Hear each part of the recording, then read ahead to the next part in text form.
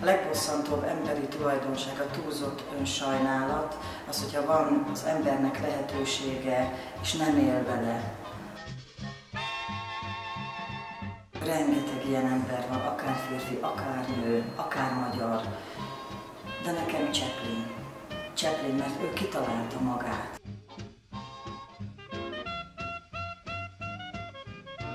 Nagyon érdekes, mert, mert ő egy férfi, én pedig nő vagyok. De mivel nem vagyok az a tipikus nő, én azt gondolom, hál' Istennek van lehetőségem férfit is megformálni.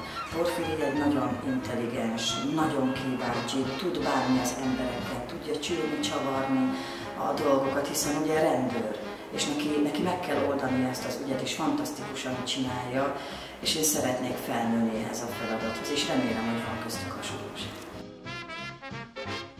Mindenben óriási tapasztalat van.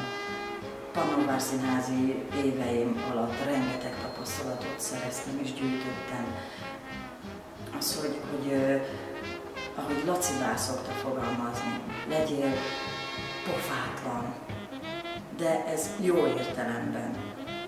Legyél bátor, bátor, a közönség nem azért jön be, hogy a félelmedet lássa, hanem az, hogy te mit tudsz alkotni, milyen az energia, hogy kijön. Egyszerűen ez a szimbiózis a közönséggel, a partnerekkel, hogyha, hogyha jó energia van, és, és össze, össze tudunk dolgozni, és a közönség ezt megérzi, és ő is visszajelez, az valami fantasztikus érzés. Mindenben van nagyon-nagyon